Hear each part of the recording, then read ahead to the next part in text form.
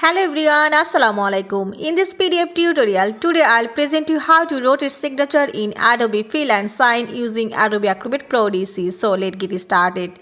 I open my PDF file and in this PDF file I want to add a signature and rotate it. So I go to Tools menu. Then I find here Fill and Sign. And you have to see here the option Sign Yourself and click this. And click on Add Initials type your initials here so I type this. Now you have to change this style. And then press apply.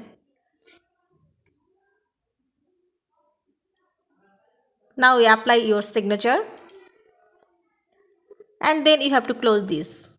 You have to go to tools menu and find here edit pdf now select this signature and edit this. You can rotate or increase or decrease the size of signature.